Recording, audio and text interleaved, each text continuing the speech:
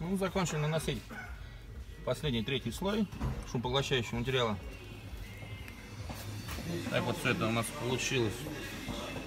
Так видите, все проклеили опять же сплошным слоем. Приступаем устанавливать колонки.